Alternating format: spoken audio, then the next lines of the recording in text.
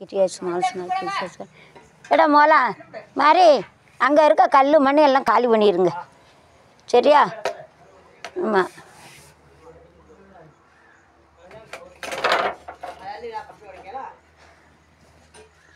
அதில் உள்ள கல் மலையும் எல்லாம் காலி பண்ணிக்கோங்க. இந்த கமெண்ட் இது ஆணி வாங்கிக்க மாதிரி ஆணியை மாற்றி மறந்துடாதீங்க.